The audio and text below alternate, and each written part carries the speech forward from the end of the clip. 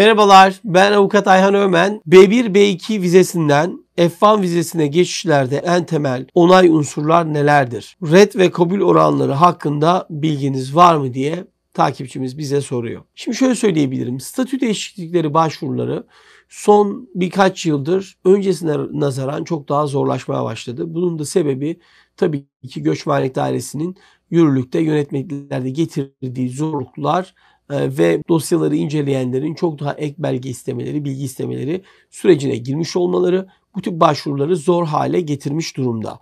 Fakat e, şöyle söyleyebiliriz. Burada önemli olan unsurlara dikkat ettiğimizde bir tabii ki yönetmeliklere dikkat etmek gerekecek. Alt statünün devam ettiğine emin olmanız lazım bu tip öğrenci statü değişikliklerinde. İkinci söyleyebileceğim nokta finansal durum, yeterli finansal birikiminizin ve ya da sponsorunuzun oluyor olması. Diğer bir durumda tabii ki ülkenizdeki bağların güçlü olduğunu gösterecek ve oradaki bağları bırakmadığınızı gösterecek evraklarınızın ya da kanıtlarınızın olması diyebiliriz.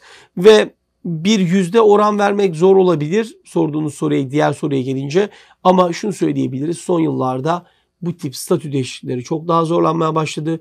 Bu yüzden e, uzmanlar tarafından özellikle avukatlar ya da hukukta uzmanları tarafından bu dosyalarınızı yaptırmanızda kesinlikle fayda var. Çünkü son dönemlerde çok rastlıyoruz. Ee, özellikle işte okul aracılığıyla değiştirenler, arada danışman yardım ediyor, başka biri yardım ediyor. Bu tip başvuruları da çok redler almaya başlayanlar var ve işin kötü tarafı şu red aldıktan sonra çok daha fazla bir şey yapacak bir imkan kalmayabilir. Dolayısıyla baştan bunun hukuksal ya da avukat e, desteğini almanızı kesinlikle tavsiye ediyoruz bu genç arkadaşlara ya da bu öğrenci arkadaşlarımıza deyip bu takipçimizin sorusunu cevaplamış olalım.